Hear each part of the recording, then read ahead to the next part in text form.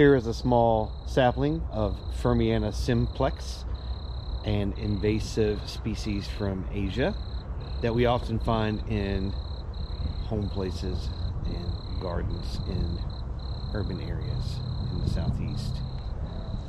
As you can see, the leaves are, are quite distinct. They remind me of a gecko footprint, which also reminds me why I'm a botanist, because clearly that looks nothing like a gecko footprint.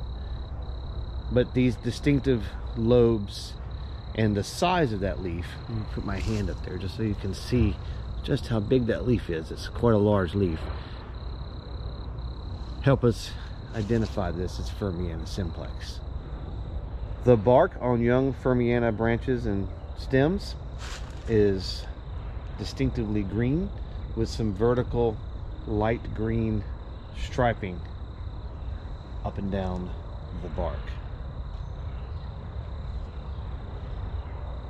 There's nothing else in our area that has this. The new growth is sort of a glaucous green on the twigs.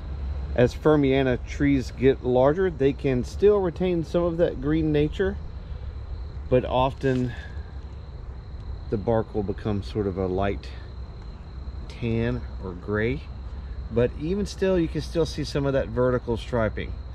From a distance, it appears to have quite smooth bark, but when you get closer, you'll see that it does have some fissures and ridges. They're just very shallow fissures.